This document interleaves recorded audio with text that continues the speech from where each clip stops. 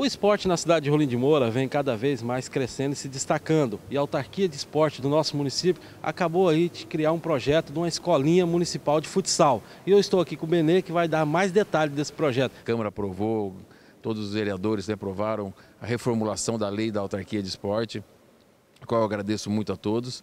Né, agora possibilitou de nós estarmos agora é, contratando o monitor para é, montarmos aqui a escolinha. A escolinha começa é, as inscrições já, até primeira mão aqui para vocês.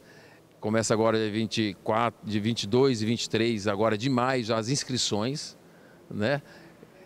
E dia 25 já estamos querendo fazer a aula inaugural aqui no ginásio de esporte. Nós temos um grande ginásio de esportes, então nós precisamos ocupar esse ginásio de esporte durante o dia, de manhã e à tarde. Então está com a escolinha oficial do município. Tem faixa etária de idade? Quais são as idades que vão poder participar? Sim, tem três categorias aí. Nós estamos com a categoria de 8 a 10 anos, de 11 a 13, 14 e 15 anos. Né? Então são três categorias. É, o projeto vai ser três vezes da semana. Estamos pensando em fazer na segunda, quarta e sexta-feira, no período da manhã e no período da tarde, né? atingindo aí o máximo de crianças, adolescentes possível para o projeto.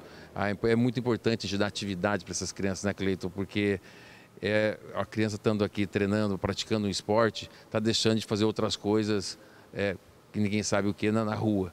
Né? Então temos de atividade para nossas crianças, acho que o município precisava disso, precisa disso, e esse aqui é o pontapé inicial. Né? Nós temos outras modalidades esportivas que com o tempo também nós vamos estruturar primeiro o futsal, depois nós temos aí o, vôlei, temos o basquete, temos handball, vamos começar a estruturar outras modalidades aqui dentro de nós esportes. Eu vou ser um parceiro da escolinha, né? Eu vou trabalhar aqui voluntariamente, junto com o Fernando e junto com o monitor que vai ser contratado pela autarquia e nós estamos muito muito contentes, né? Eu estou muito contente porque nós temos competimos há pouco agora uma, uma competição de futsal e o nosso objetivo dessa escolinha de futsal é atender cerca de 150 a 200 alunos, né? lógico que na parte social. A gente quer fazer é, esses garotos interagir, participar, fazer uma prática esportiva e nesse projeto social a gente tirar uma equipe né, competitiva para a gente estar tá competindo dentro do estado né, e quem sabe fora do estado também, já que é uma escolinha que é do município, a gente vai ter um total apoio aí porque é, eu tenho certeza que é, vai ser uma escola muito bem é, trabalhada, né? A gente tem os profissionais aí que vão estar trabalhando, é, tanto eu como o Fernando, como monitor aí que vai trabalhar com a gente. Tenho certeza que a gente vai estar se aperfeiçoando, né? Inclusive na estreia nossa aqui no dia 25, a gente vai estar trazendo o professor de Cacoal, que é o FI, é um dos maiores conhecedores de futsal de Rondônia, ele vai estar vindo aqui para dar uma palestra para os meninos. Nós vamos estar indo a Cacoal fazer um estágiozinho de, durante uma semana para a gente pegar um pouco de conhecimento. A gente vem de futebol de campo, né?